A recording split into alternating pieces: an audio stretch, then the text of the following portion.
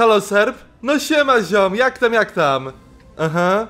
Dużo pracy mówisz? No właśnie widziałem tam kilka tych nowych czołgów premium. No ale słuchaj, no to i tak spoko, bo przecież wiele chciałeś sobie kupić, to będzie ok. No ale dobra, dzwonię w takiej sprawie, bo wiesz, tutaj ostatnio dużo gram tym S100, tam widzowie mnie męczą na live'ie. No i taką sprawę mam tam, już mi się nie chce nim grać, to dałoby radę coś tam załatwić, wiesz, no tak jak zwykle, podkręcić parę pocisków, tam wyłączyć parę art. Da radę? Spoko, spoko. No to słuchaj, dzięki wielkie i jak ktoś jesteśmy w kontakcie. No, nara. No, to z górki. Zaraz wbiję. Zobaczcie, Arty nie ma. dało radę wyłączyć, dało radę. Trzeba dobrze zadzwonić. Słuchajcie, moi drodzy, witam was w bitwie bardzo ważnej. Bitwie, która w dużej mierze zadecydowała o tym, że udało mi się ostatnio ukończyć challenge od was w bicie trzeciej biegłości, trzeciej marki na S100. Wyzwanie to było od samego początku bardzo problematyczne, bo ja od bardzo dawna S100 nie grałem. Kompletnie nie potrafiłem obsługiwać tego działa. Moje pociski leciały nie tam, gdzie trzeba.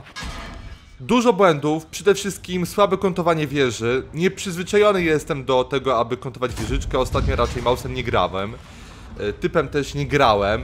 Raczej takie pojazdy, które na dzień dobry mają już tą wieżę dobrze skontowaną, jak Obiekt 277, wiecie, Super Conqueror. No nieprzyzwyczajony byłem do takiego stylu gry i przez to popełniałem liczne błędy. Ale w tej bitwie troszkę się poszczęściło. Po pierwsze, ten strzał w Conquerora pierwszy, pierwszy, który zadał damage, jak wszedł, nie wiem, ale mnóstwo szczęścia. I za chwilę bitwa się rozkręci. Oczywiście, jako że to jest mapa Mińsk, to chyba dobrze wiecie o tym, że na tej mapie takim pojazdem jak S100 nie masz możliwości wychylenia i gry na środku. Po prostu sfarmią cię po wieży w 5 sekund, więc trzeba grać tak raczej zachowawczo, spokojnie z tyłu. Dlatego no nie dziwcie się, że początek jest taki spokojniejszy. Za chwilę to się wszystko zmieni. Tutaj jeszcze w ogóle sojusznikom wjechałem w tyłek, ale to niechcący, bo w ogóle nie patrzyłem na niego, po prostu mierzyłem na tą czwórkę, bałem się, że na mnie wyjedzie. No i tutaj po początku raczej słabym rozpoczynamy robienie uszkodzeń. Popatrzcie na minimapę. Zwróćcie uwagę, co jest na środku.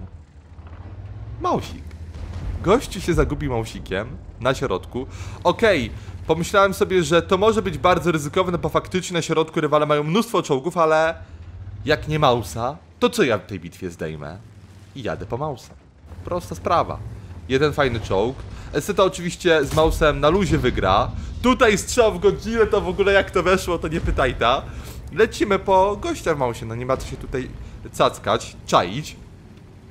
Ogólnie plan jest taki, żeby zawsze tym S100, moi drodzy, troszkę tych uszkodzeń robić, to trzeba jednak już spokojnie robić te 3,5 tysiąca, spokojnie na tą trzecią biegłość. Y, Czasami wiadomo więcej, też zależy jeszcze sporo od tego, jaki jest czas, bo te wymagania oczywiście się zmieniają, ale ja tym S100 zawsze jednak celowałem w te 3,5, 4 tysiące. No a żeby ta biegłość faktycznie rosła, to trzeba robić tą jednak piątkę, szóstkę, wtedy te 6000 łączonych uszkodzeń naprawdę bardzo pozytywnie wpływa na trzecią biegłość i te liczby rosną, tylko no prawda jest taka, że kiedy rzuca Eseto mapę otwartą, biegłość zawsze spada praktycznie. No nie będę wam ściemniał, jak rzucało mnie na bitwy na takich mapach jak Majnówka, jak rzuciło jakąś prochorówkę, to zwykle tej biegłości yy, no malało, malało, było około 3000 uszkodzeń łączonych, czasami 2000 uszkodzeń, bo strzały nie trafiały z dystansu. Dopiero na tych mapach miejskich faktycznie nadrabiałem, te wartości yy, rosły i można powiedzieć wprost, że wszystko zależy od mapek. Jeżeli dostaniecie kilka fajnych map z rzędu w miarę zamkniętych, ta biegłość będzie rosła. Jeżeli macie akurat złą pasę, mapy otwarte, niewyłączone z jakiegoś powodu, bo po prostu macie coś innego na głowie teraz, albo jakąś inną mapę, żeście zbanowali, no to wtedy jest lipa. Także tutaj najważniejsze przy wbijaniu tej trzeciej marki na S100 były jednak banowane mapy. Ja y, od razu jak mogłem zbanowałem wszystkie otwarte dwie najgorsze, czyli chyba Procho i Majnówka. bo na początku nie miałem ich zbanowanych. W ogóle ostatnio zapominam o tym, nie wiem dlaczego.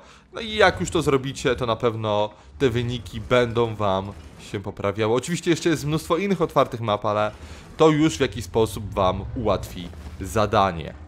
A na tej mapie, e, no tak jak powiedziałem, trzeba raczej liczyć się z tym, że nasza wieża będzie gigantycznym mankamentem i trzeba starać się grać na wymianę strzał za strzał. Nawet jeżeli przyjmiecie pocisk, tak jak tutaj, no wciąż ja wyszedłem na plus, prawda, bo jednak walę za dwa razy tyle.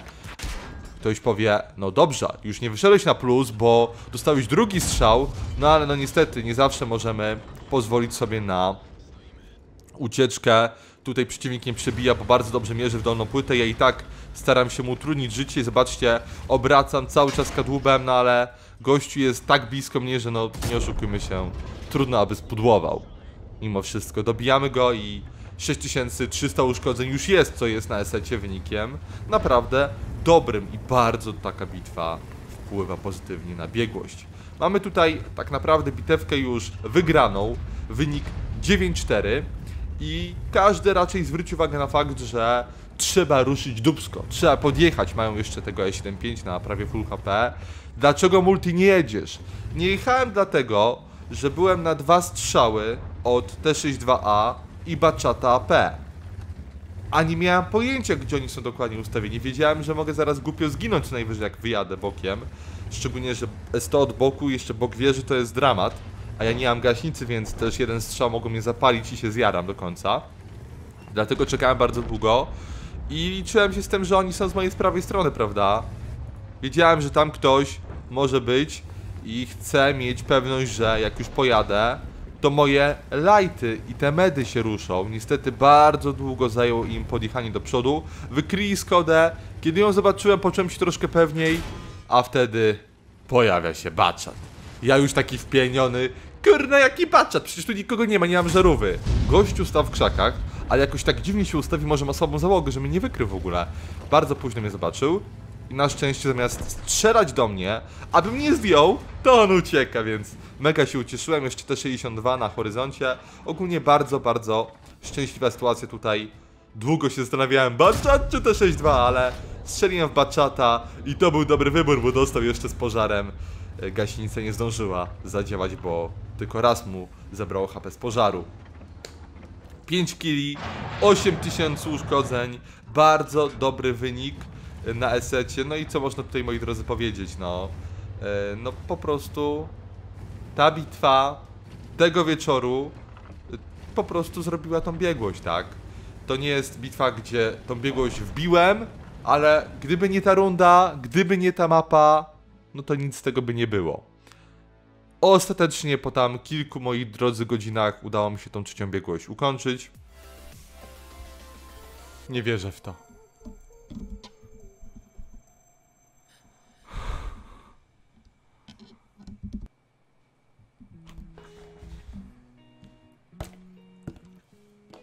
If I drove to you tonight, would you wanna get away?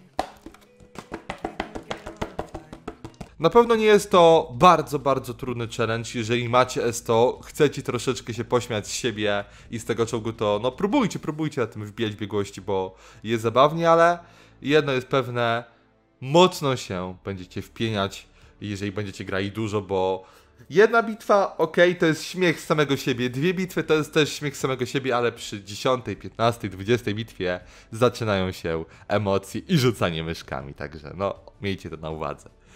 Dziękuję Wam za ten challenge. Mam nadzieję, że niedługo kolejny jakiś śmieszny.